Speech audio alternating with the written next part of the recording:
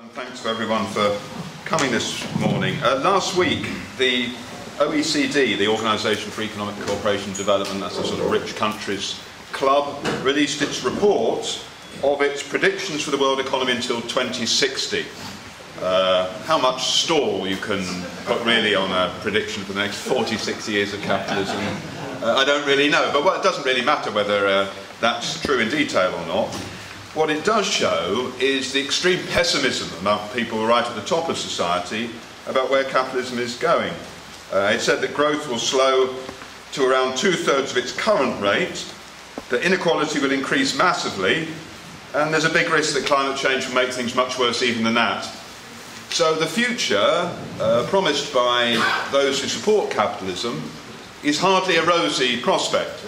Uh, you know, at one time, it would have been said that growth would continue in a massive way, that people's lives would be transformed, that we would become to a more equal society, a more just society, and that things would get better. Uh, that's not what's being promised at all, and that's the best prospect that's put forward. And it's important uh, because, of course, it's the background to the attacks that are coming upon the working class. And in many sense, that's the biggest challenge that all of us face inside the working class movement and on the left. Not that the rich face the same problems. I mean, just to highlight one statistic, the Dow Jones Index, which is the index of uh, United States shares, hit a low point of 6,500 in March of 2009 following the crash. Uh, it recently went through 17,000, um, a 250% increase since 2009. Not based, of course, on massive growth inside the American economy, but based on the fact that huge amounts of money have been pumped into the banks, into the financial houses, and that they are looking for places to invest it. They don't want to invest in industry and in services because they're not sure they can make a profit for it, and therefore huge amounts have gone into stocks and speculation, uh, perhaps creating the conditions for a further crash, by the way. Uh, but both of those show the features of long-term worsening inequality and the attacks that are going to come as a result on the working class. Uh, in Britain, uh, both of these are very clear. The rich continue to soar ahead. I don't have to evidence that to anyone. And we know that the cuts have only just begun. Uh, that, according to the Institute of Public Policy Research, that uh, only 40% of the cuts that the Tories want to implement have been implemented, another 60% to come after the general election. And we also know that the Labour Party has committed itself essentially to the same programme. So what we may say with some certainty is that the economy will remain stagnant or with very low levels of growth, that any fruits of growth will be delivered to those at the top of society, and that huge attacks are going to continue upon the working class. Good news for a Sunday morning.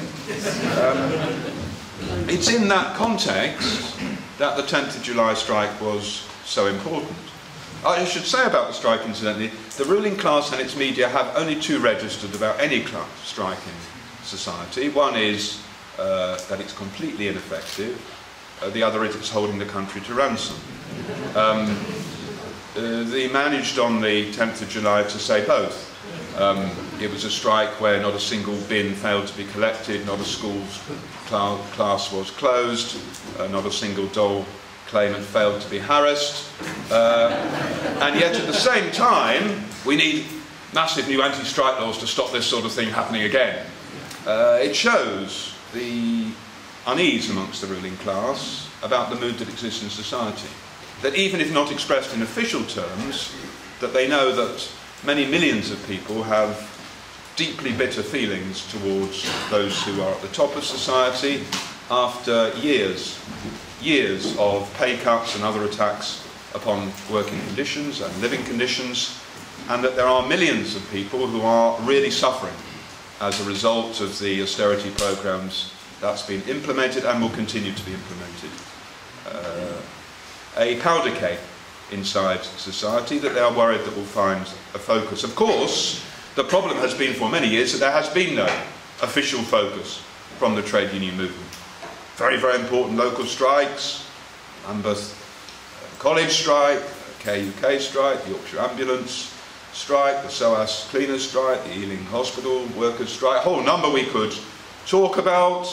But uh, in terms of a big movement of the union since the sellout of early December 2011 after the magnificent pension strike, there has not been that same level of coordinated action, which could pose a real problem towards the Tories. Now, the 10th of July begins to show a glimpse of how that can change. It's only a beginning, but my goodness, what an important beginning. Uh, a strike that got a very high level of public support, both expressed in terms of opinion polls. 58% of people, for example, said that they supported the trade union's demand for an extra £1 an hour.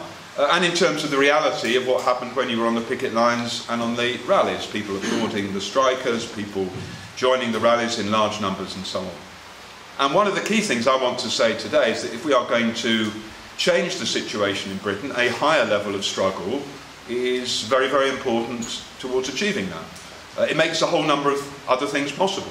If we had a higher level of struggle, uh, the possibilities around pushing back against racist scapegoating, the potential of electoral formations to the left of Labour, the possibility of a bigger socialist organisation at the heart of it, all of those prospects would be massively increased by the higher level of struggle. And therefore the 10th of July is important.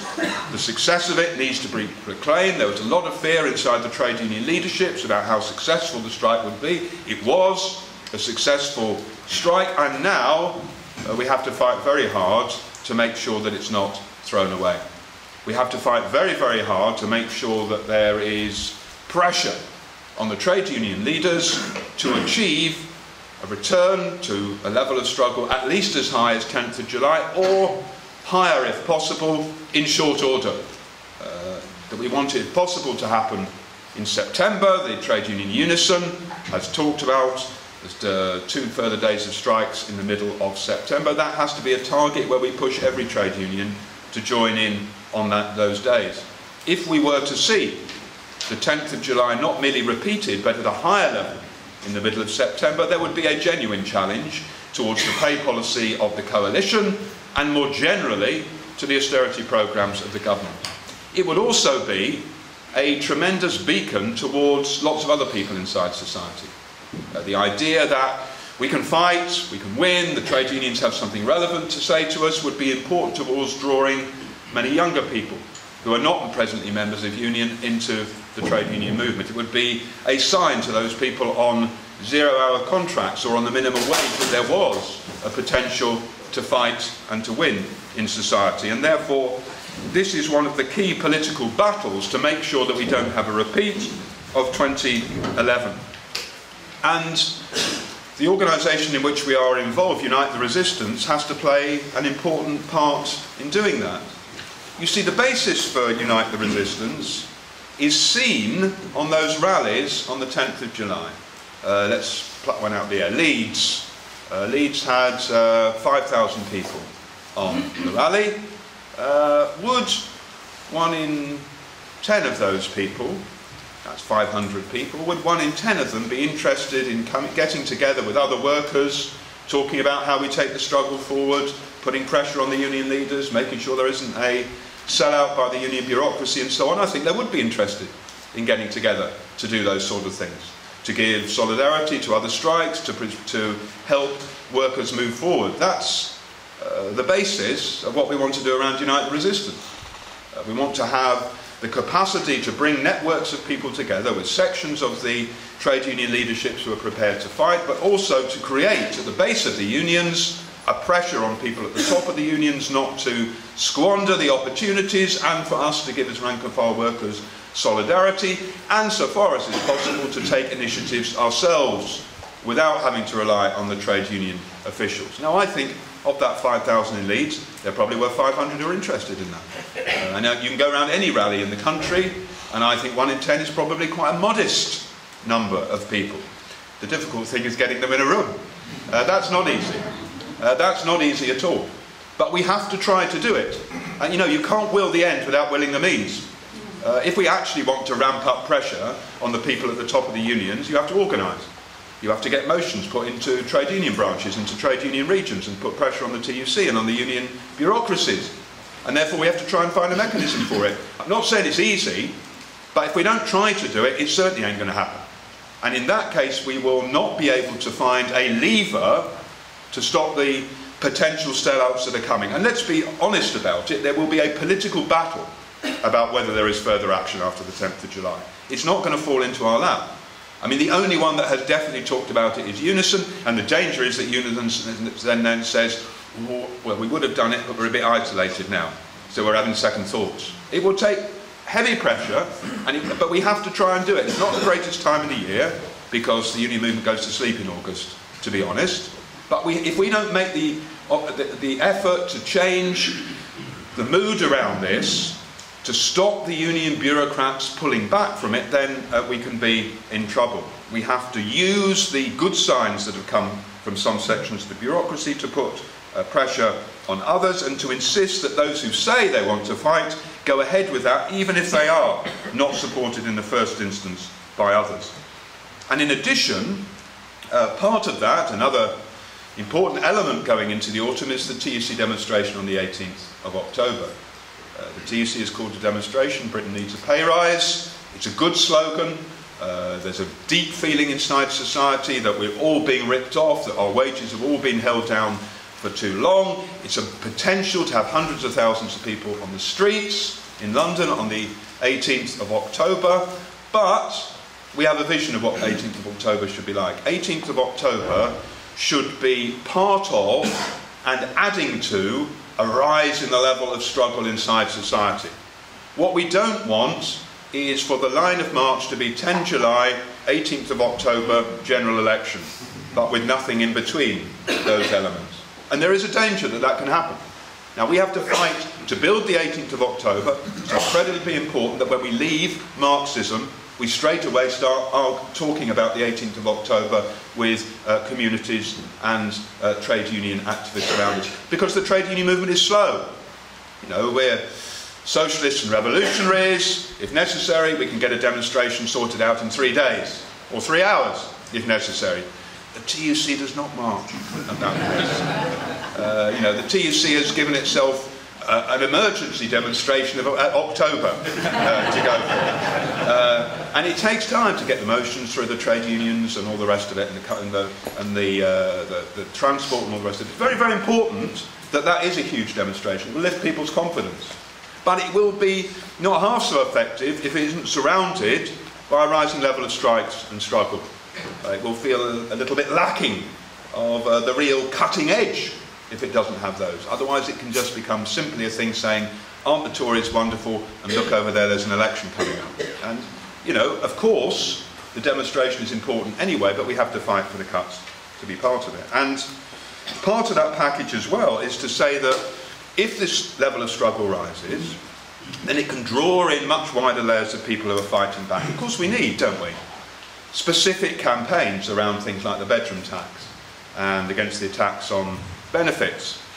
Uh, Benefit Justice is having a uh, day of action on the 11th of September, for example. Very, very important uh, that we support those. But they will also be much, much stronger if they can be brought around the rising level of struggle by organised workers.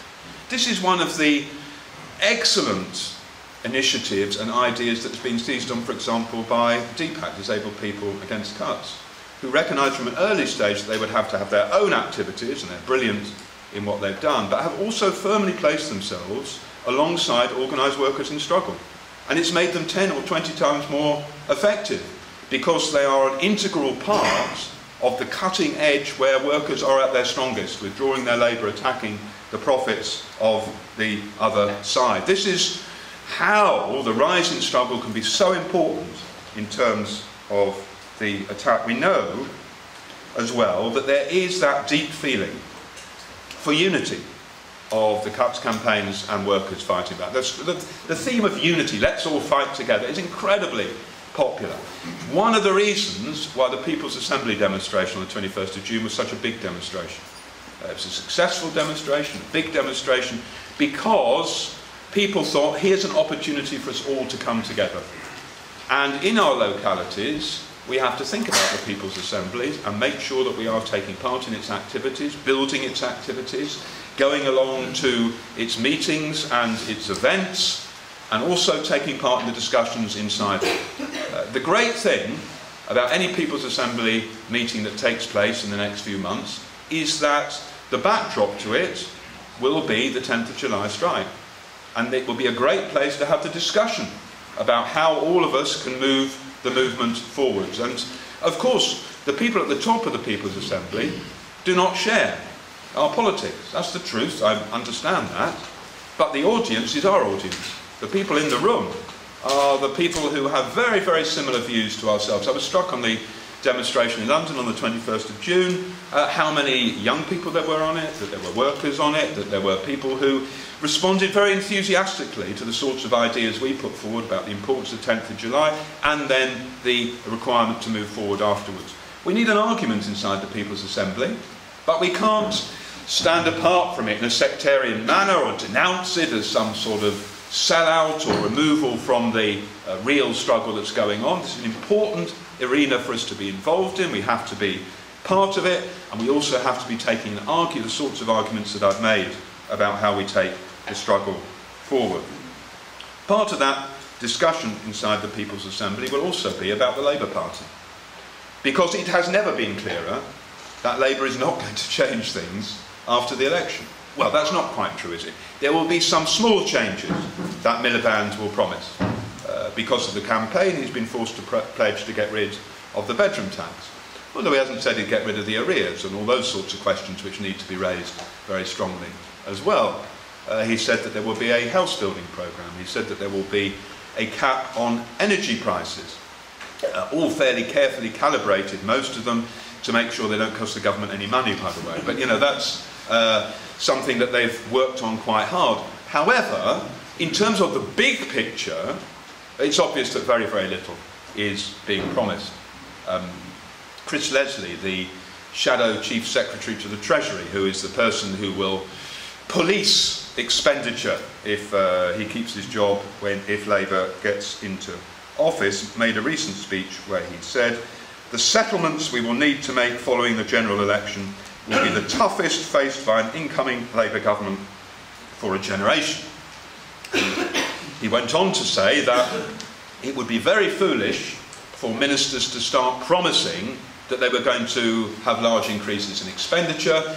Indeed, they were having a zero cost review where everything uh, was uh, in the balance. Everything had to be looked at, every penny had to be examined, and that Labour was not going to promise to put forward anything different.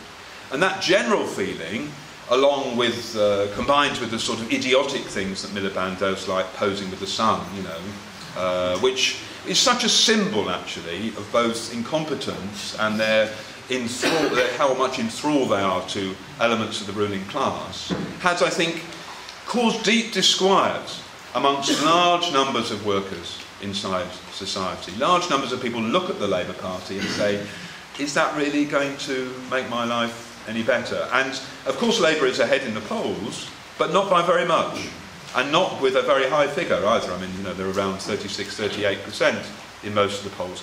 Given what the Tories have done to people in Britain, that's really quite a low figure. Really quite a low figure. Um, and therefore, I, you know, my, my, guess, I don't think this is the official position of the Central Committee, I will make my own personal uh, prediction here, is I think Labour will win the next election.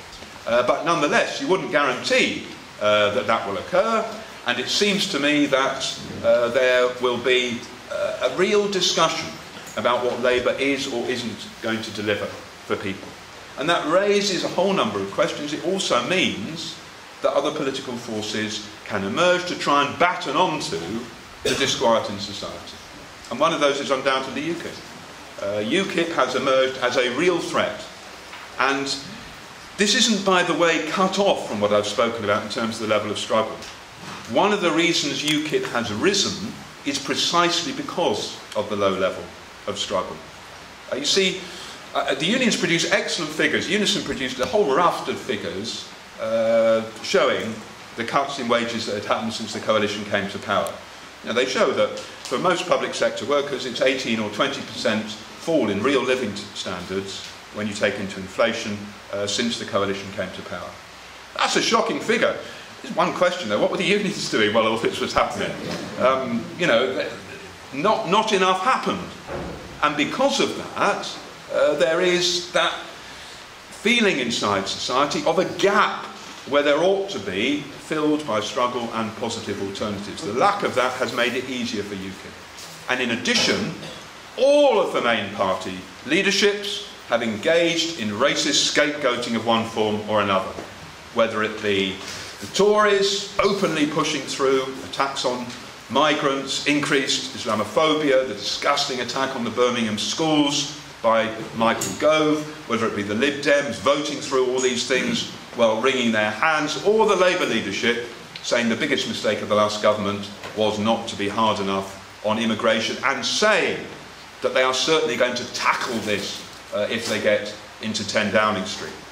The rise of UKIP is a real threat both electorally, imagining what it would be like if they did get a number of MPs, how that would enable them to have even greater influence, and if they had, God, if they had an MP, they'd be continually on the BBC, judging by how much Farage gets.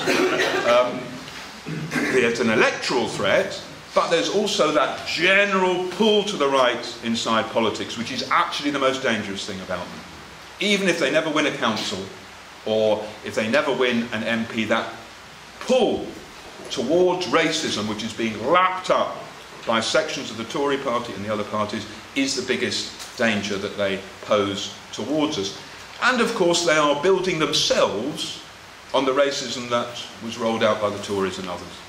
UKIP was able to harvest the crops on the ground seeded by the Tories and their allies around the question of racism. So, we've got to do something about UKIP. We've already started, we know this. Stand Up to UKIP has been, was formed before the European elections. I'm very glad we did it. It meant that there was a response against Farage at the meetings he did. That there were people who stood up and attacked him. There were people who demonstrated outside and labelled them clearly as being racist. Very, very important. We have to develop that work now. We have to make sure that there is a big turnout from all over the country on the 27th of September in Doncaster because we're going to the UKIP conference to say that we're standing up against UKIP, we're standing up against racism, we're standing up against homophobia, and we're standing up against the anti-working class policies that UKIP puts forward. That we're going to unmask UKIP not as the people's army, but as the boss's army, that seeks to divide the working class and to stop people fighting back and to enable capital to be stronger against ordinary people in society.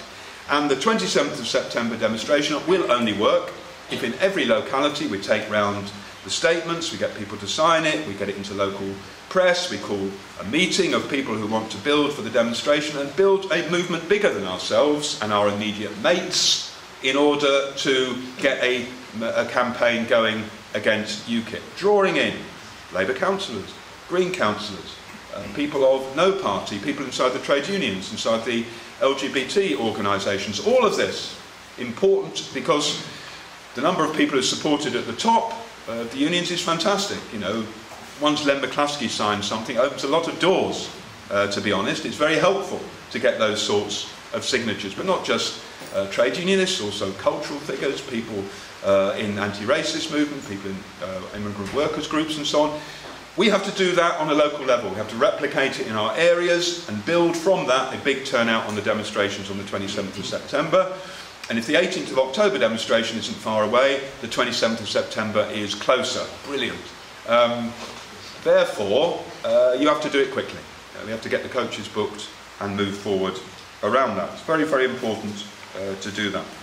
There's another day in September which is important, which is the 18th of September which is the Scottish referendum. Now, obviously, this matters most to the Scots, but actually, politically, it's something of immense importance. Immense importance. Mean, it's interesting that Cameron had to deny that he would resign if he lost the referendum, because he knew it would be a guarantee that large numbers of people would vote yes if they thought all I have to do is vote yes and Cameron will go. That's really very easy, isn't it? Now, this is not a referendum about David Cameron, therefore, he had to say. I'm not going to resign. But actually, if he lost the referendum, it would be a political earthquake. uh, for the British ruling class. Uh, you know, Salmond, whatever his weakness is, and Salmond is essentially uh, a neoliberal, leading a neoliberal party, Salmond, for all his weaknesses, would be forced to serve the notice of eviction on Trident uh, and say it's got to go. Uh, the British ruling class don't want that. Um, they don't want to feel that their reach in the world is being reduced. They don't want to feel that the state is being broken up. And therefore, uh, we're voting yes, we're campaigning for yes, we're pushing very, very hard in Scotland about this, and we're also asking comrades from England and Wales to go up to Scotland uh, on the weekends before the referendum to take part in some of the campaigning around it. The, I called it in the Scottish meeting the International Brigade yesterday. It's not quite that. the, the idea that we're going to fight uh, the battle uh, alongside them uh, in the uh, streets of Glasgow, Edinburgh, Dundee, Aberdeen, I mean, let's not go too far north. Anyway, uh, but in the big places, have to be closer. Uh, and actually, having done a bit of it, it's fantastically exciting to be in Scotland at the moment. It's infusing political debate. Um, the era of the mass meeting has returned in Scotland. Tommy Sheridan has done a tour in which he's spoken to 14,000 people that in mass in you know public meetings. Uh, that's quite impressive, and it's a left-wing uh, movement that's taking place. It's not about narrow nationalism or we hate the English or we, you know, there are of course sections of the nationalist movement like that. The dominant thing inside it is against austerity, it's against imperialism, it's against the idea that uh, we must uh, accept that there can be no change and there can be no better society than this. It's a very, very important political development that's taking place inside Scotland. Uh, more generally, uh, when I think politically about things, uh, the general election of May 2015 is extremely important. Uh, and one of the things we are going to do is to stand as part of the Trade Unionist and Socialist Coalition uh, some candidates from the Socialist Workers' Party. Uh, I think it is a disgrace, really, that we have such a fragmented left in Britain, uh, that we ought to be able to have a stronger, united left of Labour alternative on the ballot on the May elections next year. Uh, I'm glad to say that we argued inside the TUSC that there should be an approach towards left unity, uh, saying we'd like you to come inside TUSC and stand as part of that, but if you don't feel like that, uh, then we should discuss starting with something new that's neither TUSC nor left unity, that we can have a united umbrella for all of us. Uh, regrettably, left unity don't think that's a good idea. Uh, but I think we have to keep working for it. We have to keep saying it is crazy that there are competing groups that are saying they are putting forward essentially the same level of same sorts of policies to the left of the Labour Party.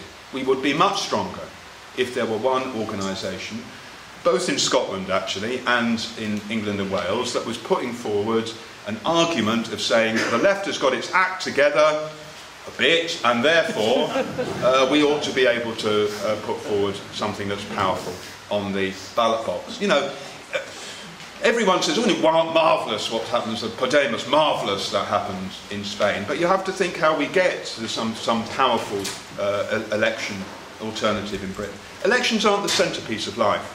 They really aren't. Everybody knows that what matters most is the struggle in the workplaces, the communities and the streets. We know that. But they are important. You can't ignore the elections. You can't say, well, that's official politics, I'm not interested in that. You have to put forward an alternative at election time. Uh, and the SWP is going to do that. And uh, to those of you who are members of the SWP in the room, we're going to be arguing that your area might be one of those that is going to do it. Uh, and those comrades who say, I think this is a wonderful perspective by the Central Committee, but please not here, um, are going to find that there will be a row about that. So that's, you know, I make an open uh, promise that we're going to have a discussion about that. And also, if you don't feel quite up to running a parliamentary candidate, there are local council elections across almost the whole of Britain except London on the same day, and we want some comrades to stand in those elections as well. This is an opportunity to put forward our views, to put forward different ideas of politics. And I'll say more generally that we have to think about being very open and very flexible uh, towards building a bigger and better left in Britain. Uh, I don't think TUSC is the uh, final answer. Um, Clive Heemskerk from the Socialist Party, who sits on the TUSC uh, steering committee with me, recently wrote an article in which he said TUSC was a precursor at best. That's quite a good description, actually, uh, of what it could be. A precursor towards something better than that. I, I agree with Clive about that. I don't agree with Clive about everything, but I agree with him uh, about that description. It's a good description he put forward. But more generally, the SWP cannot say the only thing that matters on the left in Britain is the SWP. Uh, and the only path to salvation comes through uh, joining the SWP. I want everybody in this room to be a member of the SWP. It's very, very important. But one of the hallmarks of us is that we reach out towards other people and look towards how the left can be stronger. And any role we can play in terms of creating a wider electoral alternative towards cooperation, towards working together in struggle, is very, very important for the SWP to do it. We're not a sect, we're not closed off from the important movements inside society, and we have to continue with working alongside other people and looking for how the, the left can be stronger. The question of international solidarity is also going to continue to be important. We're constant, constantly in a smaller world uh, about things that are going on. The question of Palestine is an important question for us here. Uh, solidarity with Palestine uh, is incredibly important. When I read this morning that uh, the death toll is now 157 Palestinians killed, uh, not one Israeli killed yet. Uh, the extraordinary fact that ground troops are now going into Gaza. You know, this attacks upon the Palestinian people, the level of suffering and murder that's taking place. We have to stand with the Palestinians, just as we stood and continue to stand with the Egyptians in their struggles, just as we stood and we stand with the South African workers fighting back against the giant multinationals and the government. Uh, those, that's an important part of who we are and what we are. Uh, we're not uh, something that's focused only on the struggles in Britain. Of course, Britain is where we have to fight, where we have to fight our own ruling class, where we have to carry out the crucial bits of our work. But our vision has to be international. We have to see our sisters and brothers as those people across the world fighting against imperialism. And we know that imperialism has demonstrated as well uh, its capacity to continually push the world towards war. Uh, and even when it faces such an appalling uh, events as the, what happened in Iraq after the invasion there, when Iraq is then thrown into crisis, the voices return again from Blair and people like that about how the solution is more bombing, another invasion, more attacks, kill more people, step up Islamophobia. This is the response of imperialism. This is going to continue to be an important part of our work.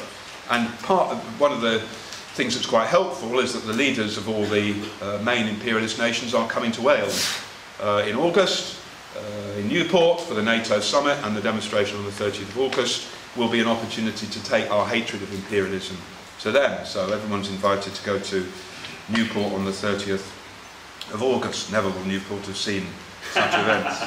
Um, well, actually. Well, the Chartists, I yes. Uh, a beautiful mural. Anyway, don't get me started on, on Newport. Um, uh, finally, I want to say uh, that all of these things that I've spoken about, fighting for the strikes to be extended and, and developed, uh, linking the fights to the other groups in society that are resisting, the growth of Unite the Resistance, the 18th uh, of October TUC demonstration, the 27th of September UKIP, anti-UKIP demonstration, the building of an electoral alternative to Labour, working with others on a bigger left in United in Action. All of these are premised on having the SWP at the centre of it. There needs to be a revolutionary socialist organisation which knits together all the different struggles, which has an overview, not just about fighting them one at a time or in series, but of saying they're all part of a bigger battle. And that bigger battle is to give a vision and to fight for a different world dominated by profit, capital, and imperialism. And to say there is a different sort of world we can have of cooperation, of peace, of people working together and of workers' power and workers' democracy, of social ownership and of the resources in society matching against the needs of society, not mediated by profit and a tiny elite at the top of society, but all of us working together in the interests of all. That's an important thing to say, that we can defeat racism and homophobia and women's oppression, that we can have a different world, but it becomes real in the struggle.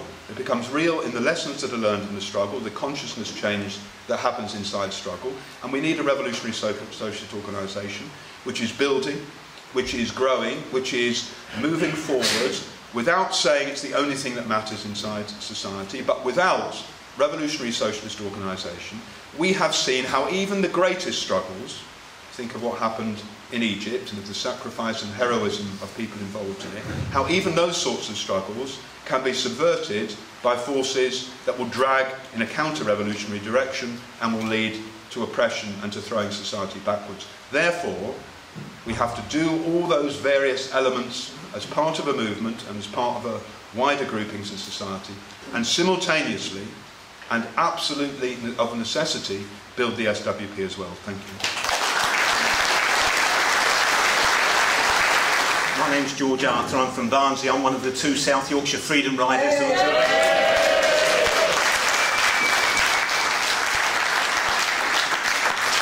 And I just want to say a few words about why the activities of a number of elderly and disabled people in South Yorkshire relates to all the things that Charlie was talking about. On the second Freedom Ride we did, one of our comrades got speaking to the driver of the train who gave him the contact details for the National Vice President of ASLEF. That uh, guy, Tosh McDonald, has now spoken at three of our rallies. Uh, ASLEF has given us contributions on three separate occasions towards producing leaflets. They invited us to the National Council.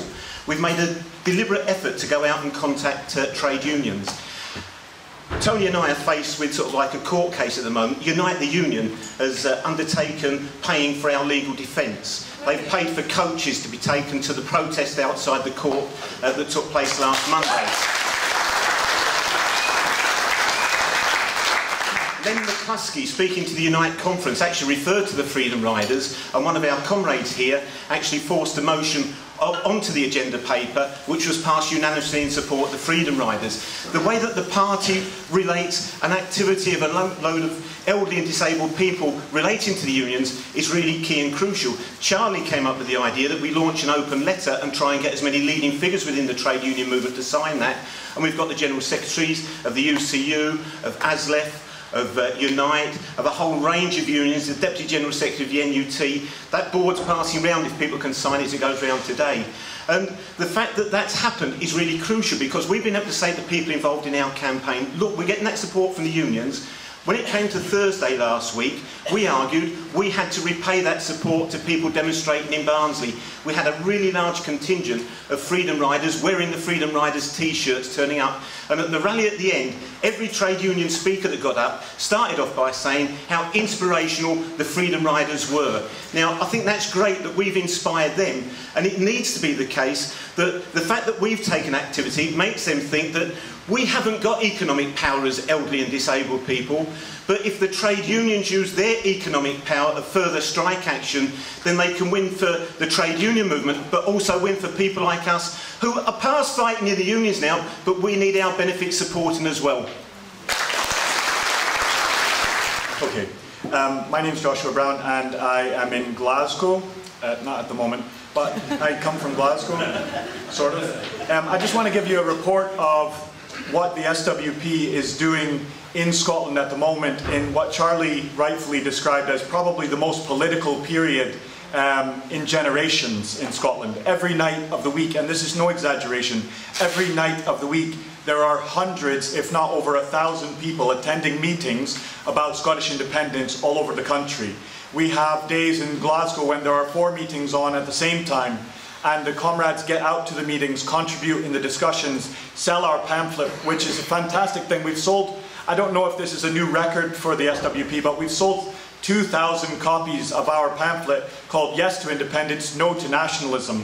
And there is a woman here with us um, at Marxism uh, this weekend who was a member of the SNP, bought our pamphlet outside a meeting where Tommy Sheridan spoke, booked herself up for Marxism, turned up here at the picnic on um, Friday and said, hello, um, I want to join the SWP. I, I didn't, the things that the SNP were saying were good, but not enough. And when she read the pamphlet, she booked herself up for Marxism. That's the kind of thing that we have been doing, the kind of injection of politics and the broadening of the political discussion that is part of independence. And that's crucial because there are so many in Scotland right now who are saying, let's just get a yes vote for independence and we'll talk about politics after the 18th of September. And we say that is an absolute recipe for disaster because the SNP has already reversed its policy on leaving NATO. They're happy to stay in now.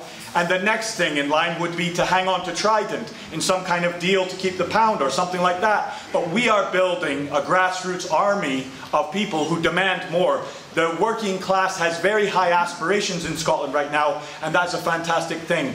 We have bringing a broader politics to that. We organised at 36 hours notice 200 plus demonstration against Britain First first appearance anywhere in the UK that they announced in advance. 36 hours, over 250 people, trade union banners, young Asians, um, people from the Independence Campaign, SWP members, UAF members, all together, and Britain First was not able to come to the place they said they would be. They were not able to be there around Palestine, with 48 hours notice, not this, not yesterday, but a week ago on Saturday, we organized a demonstration at, at 48 hours notice, over 250 people in the pedestrian area in the city centre of Glasgow, and infusing the politics of Scottish Jews for a just peace, activists fighting for independent for freedom in Syria, as well as the ordinary, the normal voices around Palestine. Now, yesterday, while we were here in, in, in, Marxism, we helped organize a demonstration in Glasgow for Palestine. Between two and 4,000 people met in Buchanan Street, marched several miles to the BBC and held a massive demonstration outside the BBC and called for other demonstrations to come in the future. It was filmed by Independence Live, the first non-independence event that has been live streamed by them. We've been building UTR, attending the picket lines, bringing union banners there. We've developed a whole new layer of activists inside the party from the students as well as from the wider independence movement who will become SWP members in the future. Just three things. Firstly, I completely agree with what Josh was just saying about how encouraging the situation is for us in Scotland. In Edinburgh, where I come from, uh, my name is Gordon Davey, in the S campaign we have been involved in uh, four weeks ago in Niddrie, a working class part of Edinburgh, there were 200 people canvassing for yes vote. And we were there, we sold the paper, we gave out leaflets, we sold our independence pamphlet. We were well received, no one objected us to being there. We were welcomed. Uh, two weeks ago in my area, a very working class area of Edinburgh, Muirhouse, 50 people campaigning, five SWP members selling the paper and the rest, and very well involved in that campaign. But a couple of things that are less encouraging.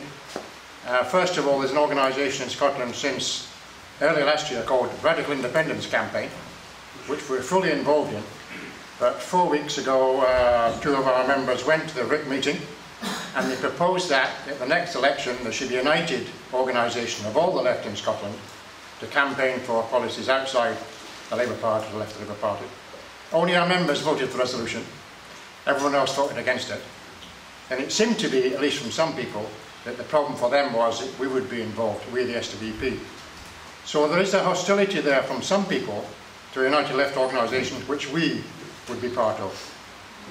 My reaction to that is, I would say, well go ahead with the United Left organisation in the election. If you don't want us involved, we will campaign separately. Where we're not standing, standing a candidate, we will urge people to support your organisation. We shouldn't take it as a no, a complete no. We should encourage it and promote it. Lastly, uh, one small point for me about SWP meetings. Our meetings in Edinburgh are generally quite small. Quite often it's just members.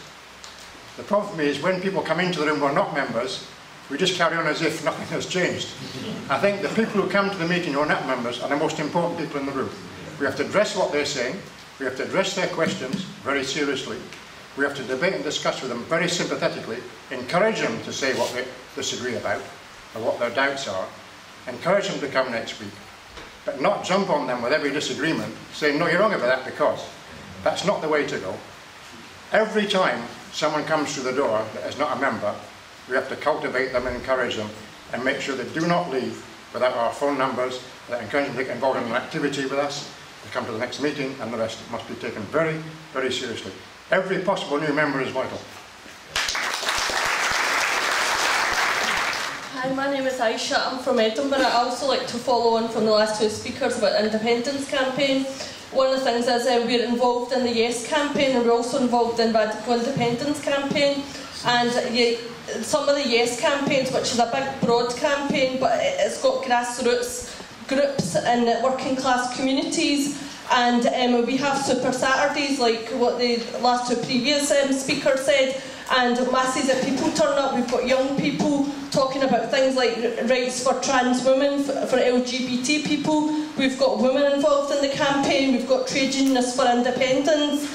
Um, we've got people from the SNP, so uh, and um, so we've been canvassing on the doorsteps, and we've been taking up arguments and challenges that we face on the doorstep. For example, things like what will happen to the currency, what will happen to the oil. So we say things like, well, you know, Scotland can have its own currency. We want to nationalise the banks. We want to get rid of bonuses for bankers. Basically, we want to nationalise all the industries and bring them under democratic control. We've been taking up, up, arguments about immigration, about UKIP and stuff like that. And um, Socialist Worker has been playing an important role in providing those arguments for working class people to bring a clarity of thought, basically. And we've been using our um, uh, pamphlet, sorry, pamphlet and uh, fact sheet to provide arguments for people, basically. So they vote yes. And one of the things that happened in my locality is we, we got £500 in donations from somebody who done a cycle race and we've also been offered to, uh, to put up a stall in the super uh, Asda place and but we've decided to take up the offer because they said we can have it for four weeks before the independence campaign on the premises. So it's a great opportunity for us where a lot of young people and working class people go to um, do their shopping, we can put that argument forward and we can have a conversation with them at the same time about socialism. So um, the campaigns are very vibrant and it's really taken off in Scotland. Sue Caldwell. Um, hi, I'm Charlie Borum. I'm a member of Revolution Socialism in the 21st Century. And I really just wanted to ask a couple of questions of Charlie um, based on um, unison, because the reality is I think it's important to have a realistic approach to um, Thursday. And one of the key things that, certainly for Unison, is it was much, much weaker than N30. It was only local government.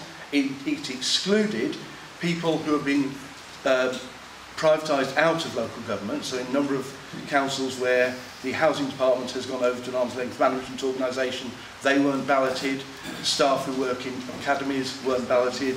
I'm in the community sector. Some people in community were balloted for November 30. No one at all in the community service group, which is the third largest service group in Unison, was, was balloted. And was absolutely no mention of linking up the live ballot in health with the action. And the reality is that it's quite difficult to see the mechanism by which we are going to put sufficient pressure on the Unison leadership in order to try and in order to try in order to try and turn that turn that around and particularly it's quite difficult to see how in health that where in health that pressure is going to come from given the real, very real difficulties on, on the ground in he- on, the, on the ground in health and I think it's important to I absolutely agree with what Charlie said about what the aim, but I'd like to hear a little bit more about how in practice that's, how in practice that, that's going to be done. I think there are, you know, the equal, I'm sure people from other unions could talk about weaknesses. The second thing is the second thing is the electoral question because um, again at Unison Conference, people got very very big cheers when they talked about when they denounced the Labour Party, in particular when they talked about Unison ceasing to fund the Labour Party. But equally, people got very, very big cheers when they talked about the necessity for the Labour Party going back to its roots, when people talked about old Labour and the arguments about old Labour. So I think it's, although people are very unhappy with it, it would be wrong to see that as a simple rejection of old Labour. And what we didn't find at Unison Conference was any serious enthusiasm for either TUSC or for um, left unity. And I just wanted again to say, I mean, it's very difficult to look at the recent election results for TUSC and not think those didn't work. And I just wonder whether there's any rethinking going on about that. See, we do, we do have to look at, the, uh, um, um, at, at, at some of the difficulties in the period, but actually that is not the place to start is actually what a brilliant strike it was on Thursday and actually how accidents can take the calls that are made for whatever it is, whatever crumbs it is that we get and turn it into something bigger. And actually, one of the ways in which our comrades organised around the run-up to the strike, particularly in schools, was that they organised joint meetings between NUT and Unison and other unions that were involved in the strikes in their schools. And this is something, by the way, that quite often happened only where uh, members of the SWP were in schools making that happen. Because we didn't start from the pessimism and the miserablism. We started from how brilliant it was that we were going to have this joint strike. And the effect of that, if you talk about unison members in academies that were not balloted, is that in one school in, in, in Hackney, where a comrade organised a joint meeting with Unison, which was an academy where the Unison members had not been balloted, five Unison members refused to cross the picket line and joined the strike action anyway.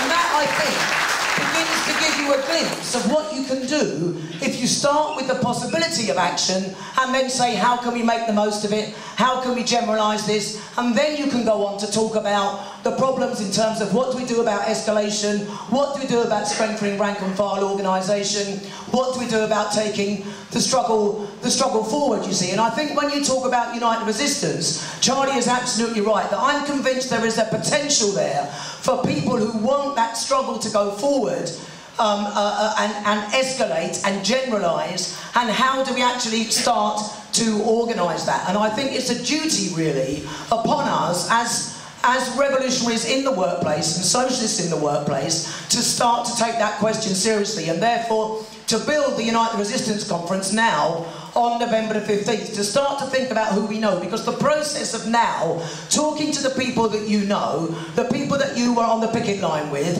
the people that you went on the you've been on the demonstrations with, the other trade unionists that you were on the joint rallies with in your locality, beginning to talk to them now about the fact that we want escalation, that we don't want the argument about the Labour Party to hold us back. We don't want the argument about the trade union laws to hold us back. Political arguments. So when we talk about building united resistance, it's a combination of delivering real solidarity to workers in struggle, talking concretely about actually how we can escalate those strikes, and also trying to create a bit of a tension around some of the political arguments about the role of the trade union leadership, the role of the Labour Party, and so on, which means absolutely having committed uh, uh, uh, uh, members of a revolutionary party at the core of that, but being able to reach out to other people and talk absolutely concretely about how we do that. And that, I think that is a duty upon us in the present time to make sure that we build this conference really as big as possible. In the course of having the arguments and discussions about why people should come to it,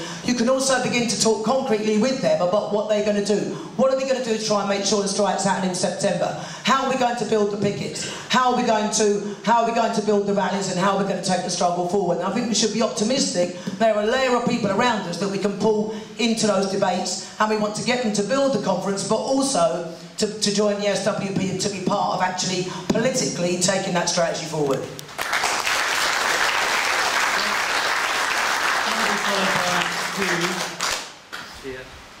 Uh, John Molyneux from Irish SWP.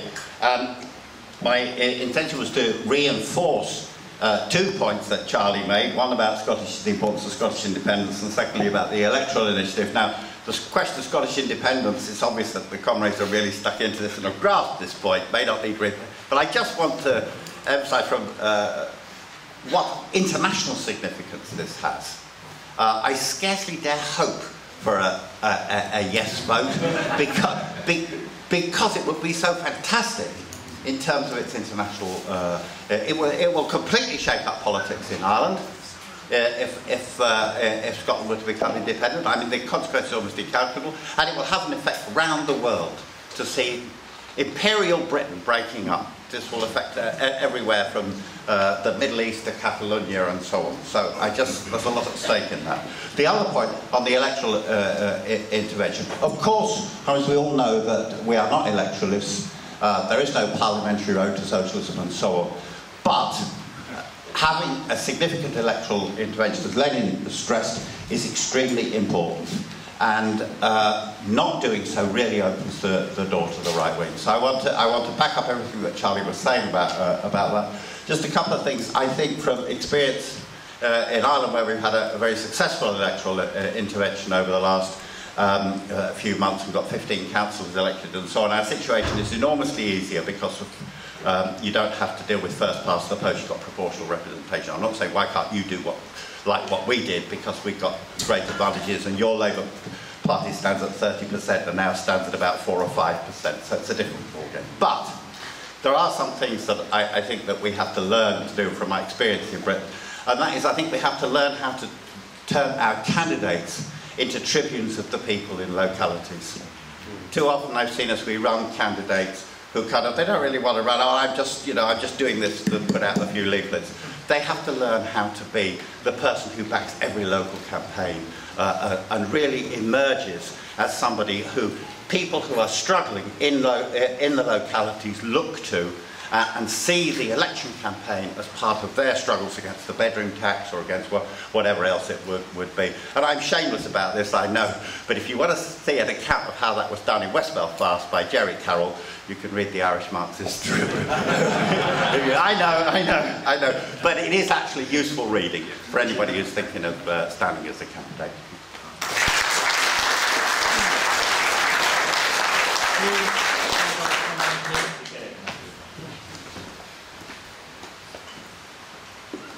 Yeah, I think uh, a couple of speakers ago talked about some of the difficulties post uh, July the 10th and how we're going to do it and how can we possibly get action in the future and won't it be a disaster in the, in the National Health Service if they, if, they, uh, if they ballot and so on and so forth. There's no question there are weaknesses. There is no question about it. Inside the hospital union organisation isn't, you know, we're not talking about 100% density far from it.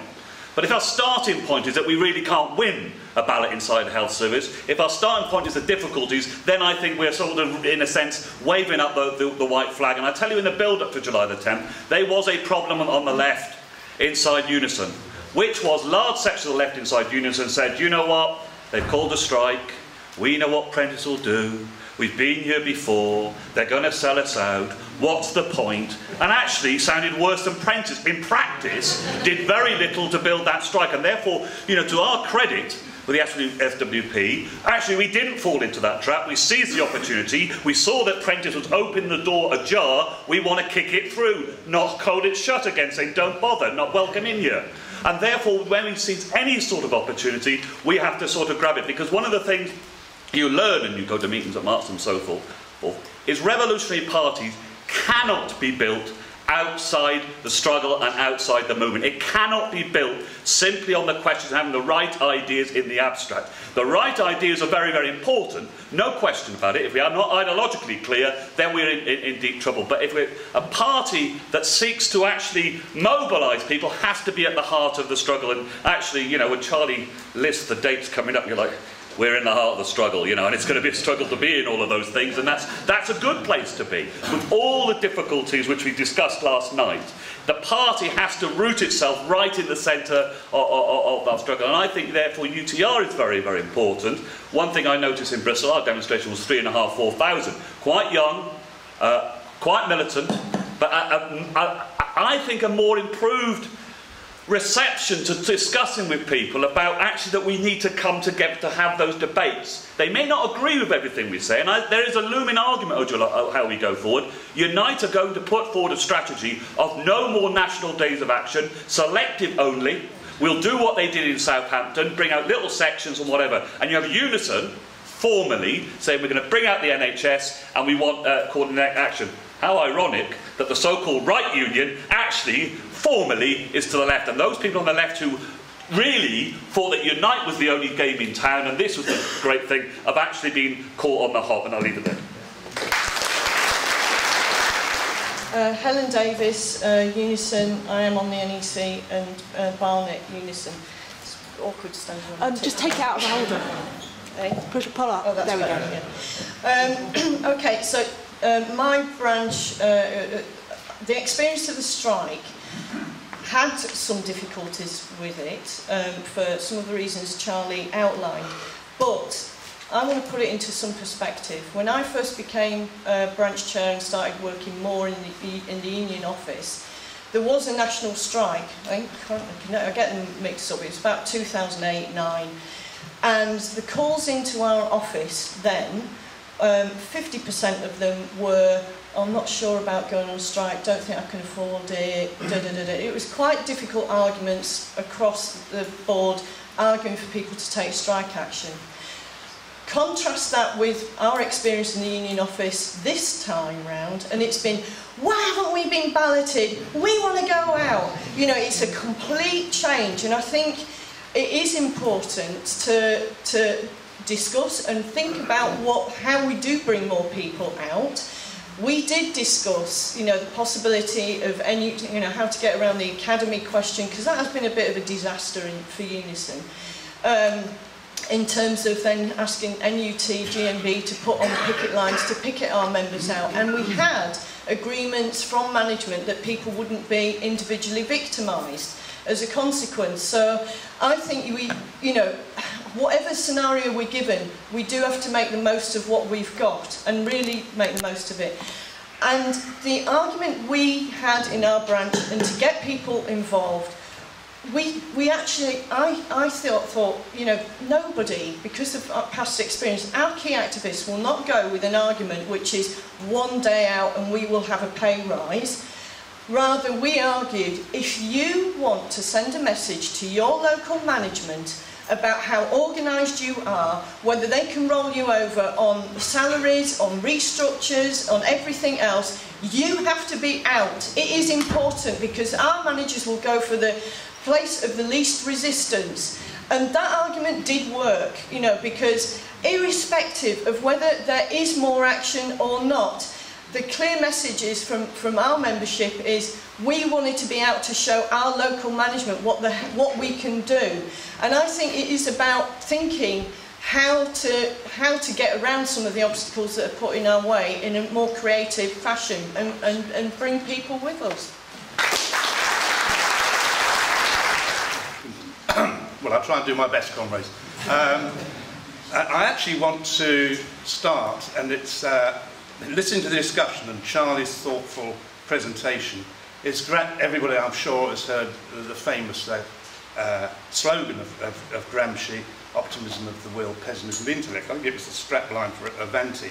Um, and of course it's a wonderful slogan, but the issue is how do you actually get the balance between the two? How do you make the, the dialectic, if you like, productive. I mean, I don't know about you, but I have met a number of comrades on the left. I'm in the SWP. We have one or two in SWP, but who are relentlessly optimistic.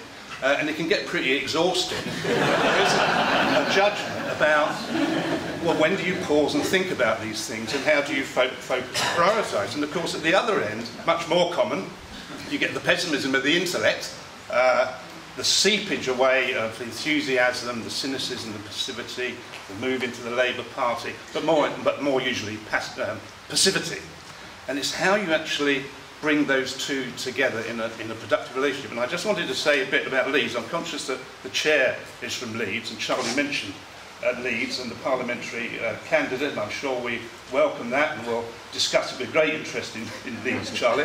Um, the, I just wanted to say a few, if you like, pessimism, the intellect things uh, about uh, Leeds, and the basic message is that there is loads to do, loads of struggle to get involved in. The Freedom Ride Riders just on the, the border of us, brilliant struggle going on there. Great turnout, July the 10th. Already, oh my God, I had nine, um, not nine points, I hate it, nine, nine, nine organisations in Leeds who uh, uh, I, I have um, more or less active uh, in. UAF, we have a core of about half a dozen. When there's a crisis, of course, we can produce hundreds and hundreds, and, and the UKIP, hopefully we'll get a, a, a, about core of about 20 or 30, but the, the, the continuous core, four or five, and that's so throughout the Green Movement, Left Unity, Good Meeting of Scotland, 20 people at it. There's always a golden rule, however hard you try, you can't get above that 25 in Leeds of committed activists. Uh, PCS, which is my union, people would say, what a great union to be in. You know, so many good comrades. Uh, somebody yawning there is a good response, I guess. The, uh, uh, I, I've been uh, involved in that union since 1969, and uh, the left conference this year, merger with Unite, etc., etc., etc., 70, uh, a national national conference, uh, and it just sort of underlines uh, the difficulties we face and the need to focus. And I have three uh, points, very brief, one, one word, the struggle which people have spoken about so great. And I'm a retired member of PCS and we did great on July the 10th, going around picket lines, often only one person there from the office, and were, it was great for them to see us retired members. Organisation, I wasn't in SWP for many years. Uh, part of the reason I survived is because I'm stubborn, uh, and I won't let the bastards grind me down. But the other reason was I had a very good, thorough education at the beginning in the 60s and, and particularly in the 60s, and also the 70s, of, of education classes, very tough, Marxism, pamphlets, etc. And that stayed uh, with me. And I think, do think within the midst of the struggle, we do have to consider issues like education. Cheers. Charlie, to sum up, please.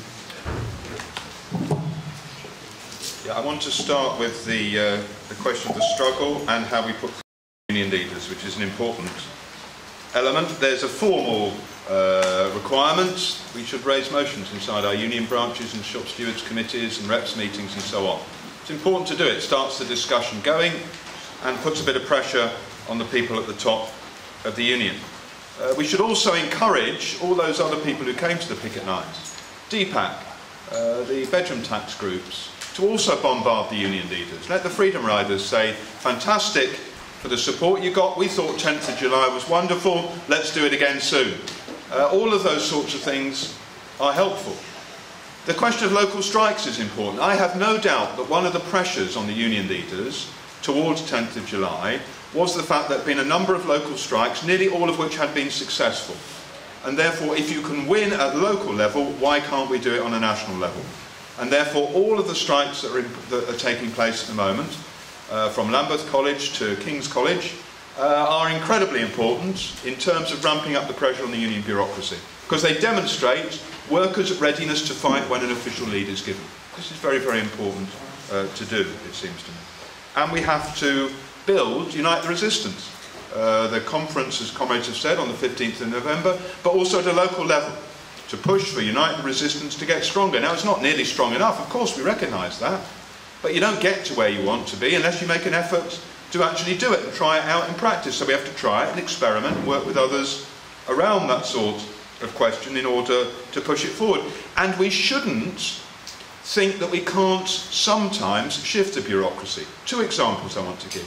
One is the firefighters, a dispute which incredibly has been going on for three years over pensions. On a number of occasions, the FBU officials have tried to end it. On each occasion, there has been a revolt from below involving rank and file firefighters, yes, but with a middling layer of the bureaucracy as well, which has prevented them doing it.